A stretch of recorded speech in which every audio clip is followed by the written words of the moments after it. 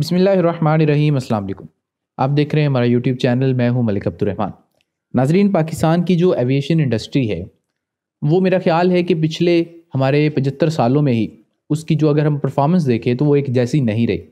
माजी के अंदर हमें बताया जाता है और लोग बताते हैं कि 1960-70 की दिहाई में पाकिस्तान जो इंटरनेशनल एयरलाइन थी, वो बहुत ज़्यादा अच्छी एयरलाइन थी।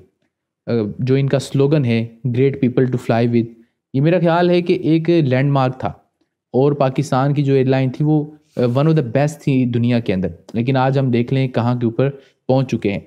और पाकिस्तान के अंदर और अगर भारत का हम, अगर कंपैरिजन कर लें तो इतना बड़ा फ़र्क है कि आप सोच भी नहीं सकते कि यहाँ पर जो डोमेस्टिक फ़्लाइट्स हैं या जो डेस्टिनेशंस हैं, वो कितनी है इंडिया के अंदर और पाकिस्तान में कितनी है, ये जो है इसमें एक बहुत बड़ा गैप है। ये गैप क्यों है? इसके अंदर डिफरेंट जो है वो फैक्टर्स हो सकते हैं। अगर मैं आपको थोड़ा सा पहले इंडिया के बारे में बताऊँ तो तकरीबन वहाँ पर एक दिन में एक हज़ार डोमेस्टिक फ़्लाइट्स जो हैं वो टेक ऑफ़ करती हैं। और तकरीबन चार लाख जो मुसाफिर हैं, वो इन एयरलाइंस के ज़रिए से सफ़र करते हैं। लेकिन अगर हम पाकिस्तान की बात करें तो यहाँ पर जो है वो आपको क्या लगता है कितनी फ़्लाइट जो है वो एक दिन के अंदर जाती होंगी? मेनली हमारी जो फ़्लाइट्स हैं वो लाहौर से कराची हैं। कराची से उसके बाद इस्लामाबाद है। पिशावर को जाती हैं, कोयटा को तो मैक्सिमम जो है तकरीबन हंड्रेड फ़्लाइट जो हैं वो पाकिस्तान के अंदर एक दिन में ऑपरेट होती हैं डोमेस्टिकली। और जो एयरलाइंस हैं वो भी बड़ी लिमिटेड सी हैं। एक तो एयर ब्लू है, इसके बाद एयर सियाल है पी आई ए है, सेरीन एयर है और उसके बाद जो है वो अब फ़्लाई जिना के नाम से भी एक एयरलाइन यहाँ पर आ चुकी है। पाकिस्तान में तकरीबन 38 एयरपोर्ट्स के ऊपर जो है फ़्लाइट्स जो है वो ऑपरेट की जाती हैं। जिनमें से मैं फिर कहूँगा कि मेन जो है वो लाहौर, कराची, इस्लामाबाद, ये तीन मेन है। इसके अलावा छोटे छोटे और भी एयरपोर्ट्स हैं। तो कंपैरिजन बड़ा छोटा सा है। मैं इसमें मज़ीद डिटेल में नहीं जाना चाहता। लेकिन सिर्फ़ आपको बताने का मकसद ये है कि दोनों मुल्कों के अंदर इतना बड़ा फ़र्क है। एक फ़र्क तो ये भी आ जाता है ना कि उनकी आबादी भी ज़्यादा है। लेकिन इसके बावजूद भी अगर हम देखें तो हमारे हाथ जो है वो लोग फ़्लाइट्स में जाने को तरजीह नहीं देते।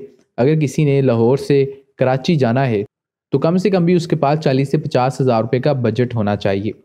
ये इतना ज़्यादा पैसा है और आप मुझे बताएँ कि क्या एक आम आदमी मिडिल क्लास का बंदा अफोर्ड कर सकता है किसी एयरलाइन में ट्रैवल करना? तो मेरा ख्याल है कि बिल्कुल भी नहीं। पाकिस्तान में पिछले दिनों एक एयरलाइन आई जिसको फ्लाई जिना का नाम दिया गया। ये अभी पाकिस्तान के अंदर डोमेस्टिकली ऑपरेट कर रहे हैं और कहा गया है कि ये पाकिस्तान की चीपेस्ट एयरलाइन है और उसका जो टिकट था वो तकरीबन लाहौर से कराची का चौदह से पंद्रह हज़ार रुपये का था। लेकिन अगर वही बंदा लाहौर से कराची किसी ट्रेन में जाता है तो तकरीबन पंद्रह सौ, दो हज़ार रुपये में आप जो है वो वन साइड कराची का सफ़र कर सकते हैं। फिर उसके बाद पाकिस्तान इंटरनेशनल एयरलाइन जो है, वो दुनिया के बहुत सारे हिस्सों के अंदर ट्रैवल ही नहीं कर सकते। आप उनकी एयर स्पेस के अंदर नहीं जा सकते। यूरोप में आप बैन है।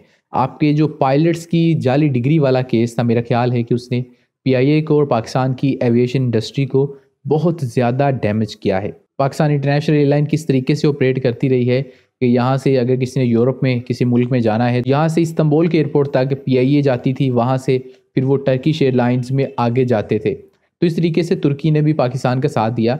लेकिन मेरे कहने का मतलब ये है कि कोई भी मुल्क जो है, उसकी तरक्की का मैार यही होता है कि वहाँ पर जो इंस्टीट्यूशन हैं, वो कैसे काम कर रहे हैं। बदकिस्मती के साथ अगर हम पाकिस्तान और इंडिया का कंपेरिज़न करें तो मेरा ख्याल है हमारे और उनके इंस्टीट्यूशंस का कोई फ़र्क ही नहीं है। हमारा हर अदारा जो है वो खसारे में है, जबकि इंडिया जो है वो हमसे बहुत बहुत बेहतर है। जब इमरान खान साहब ने हुकूमत बनाई थी तो उन्होंने कुछ वादे किए थे। उनमें एक वादा ये भी था कि वो जो है इंस्टीट्यूशंस को ठीक करेंगे पीआईए को रेलवे को, इस तरह के वादे किए गए थे। अब उन वादों के ऊपर कितना अमल दरामद हो सका है, ये तो मैं कम से कम नहीं जानता, लेकिन मेरा ख्याल है कि उसमें कुछ ना कुछ बेहतरी ज़रूर आई थी। लेकिन 2020 में मई के महीने में जो लाहौर से कराची जाने वाली पीआईए की flight P K eight three zero three जो कि कराची एयरपोर्ट से थोड़ा सा पहले लैंड करने से वहाँ पर हादसे का शिकार हो गई थी। उसमें तकरीबन सौ अफराज शहीद हो गए थे। वो एक बड़ा ही डैमेजिंग मोमेंट था। उसके बाद पाकिस्तान की जो हुकूमत थी उस वक्त, उन्होंने इस मामले को सही तरीके से हैंडल नहीं किया और कहा गया कि इतने सौ बंदे जाली डिग्री वाले यहाँ पर पायलट्स हैं, जिससे पीआईए को इतना ज़्यादा बदनाम कर दिया गया कि दुनिया के बहुत सारे हिस्सों में इनके ऊपर बैन लग गया। फिर यहाँ पर मसला ये भी है कि यहाँ पर जो है इन्वेस्टमेंट्स को वेलकम नहीं किया जाता। जैसे फ़्लाई जिना पाकिस्तान के अंदर जब आई तो जो दीगर एयरलाइंस थी, उन्होंने उसको क्रिटिसाइज़ करना शुरू कर दिया और कहा कि हम किसी बाहर की एयरलाइन का अगर यहाँ पे कोई प्रोजेक्ट है तो हम उसको नहीं चलने देंगे। क्योंकि ये जो फ्लाई जिना है, ये एयर अरेबिया का एक प्रोजेक्ट है, यानी कि बिरोन मुल्क से सरमाकारी आ रही है। कहा गया कि यहाँ पर आप बिरोन मुल्क से एयरलाइंस को लाएँगे तो जो पाकिस्तान की नेशनल एयरलाइन है, उसको नुकसान होगा। यानी कि खुद की परफॉर्मेंस को हमने बेहतर नहीं करना। हम ये चाह रहे हैं कि जैसे चल रहा है, वैसे चलता रहे। बाहर से कोई आकर हमसे अच्छी यहाँ पर सर्विसेज़ देकर हमें जो है वो पीछे ना धकेल दे। तो मेरा ख्याल है, अगर पाकिस्तान की एविएशन इंडस्ट्री ने और ख़ास तौर पर पीआईए ने दोबारा से एक शानदार एयरलाइन बनना है तो मेरा ख्याल है हमें बहुत ज़्यादा मेहनत करने की ज़रूरत है। एक कॉम्पिटेंट शख्स के नीचे इस इंस्टीट्यूशन को लाना चाहिए। अभी भी जो शख्स है, वहाँ पर अरशद मलिक साहब मेरे ख्याल में एक बेहतरीन आदमी है, लेकिन फिर भी कि आउट ऑफ़ द बॉक्स जाकर कंफर्ट जोन से निकल कर डिसीजंस लेने की ज़रूरत है। क्योंकि जो एविएशन आपकी इंडस्ट्री है, ये एक बहुत बड़ी इंडस्ट्री बन सकती है।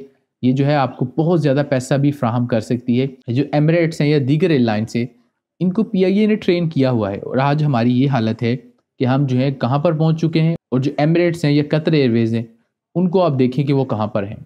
वीडियो को ख़त्म करते हैं। आप हमें कमेंट सेक्शन में अपना फीडबैक दे सकते हैं। इसके अलावा इस वीडियो को लाइक और शेयर कर दें और अगर आपने अभी तक इस चैनल को सब्सक्राइब नहीं किया तो चैनल को सब्सक्राइब कर दें और बेलाइकन को क्लिक कर दें। मिलते हैं आपसे अगली वीडियो में। मुझे इजाज़त दीजिए। अल्लाह हाफिज़।